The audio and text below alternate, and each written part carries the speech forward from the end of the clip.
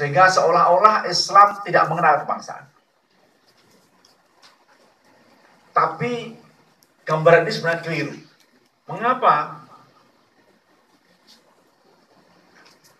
Kebangsaan dalam arti yang lebih lebih atau nasionalisme yang lebih lebih membumi kalau kita boleh meminjam bahasa atau istilah yang kita miliki secara kultural ya itu tidak jauh dari Al-Wataniyah di Mesir muncul di Syria juga muncul Al-Wataniyah Libya mungkin lebih belakangan nah ya ini, ini ini pentingnya di kalangan umat Islam Indonesia juga muncul. Memang tidak tidak populer, tidak seperti nation atau bangsa atau uh, nasionalisme gitu ya.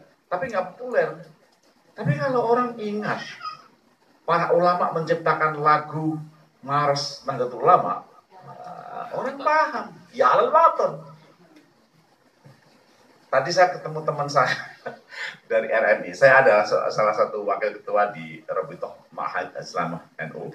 Jadi Eh, kita, kita, kita, kita merefleksikan lah bahwa sebenarnya Islam juga sudah mempunyai keinginan untuk mengadopsi satu paham al-wataniyah, kebangsaan, nasionalisme, dalam konteks menjaga sebuah anggota masyarakat yang tinggal dalam sebuah watan ada bahasa Arab ya. Jadi di situlah sebenarnya kita tidak bisa mengatakan bahwa tidak ada nasionalisme dalam Islam. Nyatanya ijtihad para ulama dimungkinkan itu. Apalagi kalau kita merujuk pada berbagai pengalaman umat Islam di masa lalu, sebuah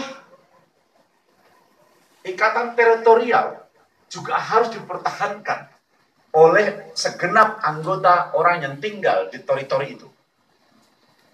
Contoh yang paling awal adalah Madinah, kan?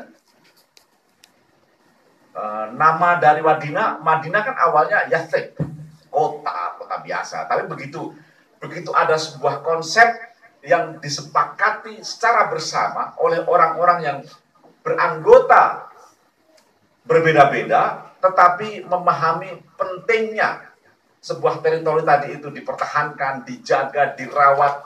E, kalau ada e, apa musuh menyerbu ke dalam, kita harus melakukan gerakan dan seterusnya. Alatonia, sebenarnya alatonia. Tapi pada waktu itu mungkin orang tidak begitu paham tentang al-watani uh, atau katakanlah generasi awal muslim ya disebut al-madani. Mengapa al-madani? Nah, di sini nanti, nanti saya akan akhir sekali pentingnya menjaga sikap-sikap al-madani ini. Tapi jangan di anu bahasa Jawa ya. Kalau bahasa Jawa madani tahu nggak madani? Ngejek itu. Ngeledek namanya. Jadi kita dulu pada waktu di muncul Islam Madani. Oh, Islam Madani toh kata gitu. Madani maksudnya ada ngeledek, bullying. Tapi bukan itu. Madani adalah dari kata-kata al-madaniyah. Keinginan untuk membangun sebuah masyarakat beradab. Al-madaniyah, al-huduri, dan seterusnya itu kan memang memang uh, peradaban. Nah, itulah mengapa Nabi mengatakan Al-Madinah, Al-Munawwarah semata karena teritori ini dicita-citakan untuk membangun sebuah masyarakat yang beradab. Nation, nasionalisme, Al-Watonia satu akar sebenarnya. Semangatnya adalah membangun sebuah masyarakat yang tinggal di sebuah teritori. Masalahnya adalah membangun sebuah teritori mungkin mudah. Tetapi membangun anggota masyarakat yang berbeda-beda tinggal di teritori itu yang susah. Mengapa? Karena identitasnya berbeda. Imannya berbeda, etnisnya berbeda. Etnis mungkin kita punya pra, uh, etnis makanya ada kesukuan ya, suku-suku yang berbeda gitu. Mungkin kita juga punya pandangan bahwa suku-suku berbeda lebih mudah, Pak. Enggak juga. Nyatanya apa? Tamil di Sri apa di Sri Lanka dengan uh, Sinhala di uh, di Sri Lanka nggak pernah akur itu. Padahal etnis saja, satunya agak Hindis, satunya agak uh, Sri Lanka, Ceylon. Malaysia agamanya kan nggak begitu problem di Malaysia. Tapi Cina dengan Melayu susah sekali akurnya. Jadi sama saja. Karena apa? Karena identitas tadi itu. Membangun teritori mungkin gampang Pak. Udah dipagerin aja, dikasih benteng. Nah, tapi membangun identitasnya supaya nyatu itu ya yang Nah, pentingnya workshop hari ini adalah bahwa bagaimana kita membangun sebuah uh, teritorial dengan mengasumsikan anggota-anggota teritori tadi itu, uh, alwaton tadi itu berbeda-beda. Nah, di situ pentingnya elit-elit uh, agama, elit-elit suku, para uh, pimpinan organisasi massa, ormas, termasuk bilang ada politik, harus mempunyai strategi tertentu membangun wilayah yang kita sebut teritori tadi itu. Nah,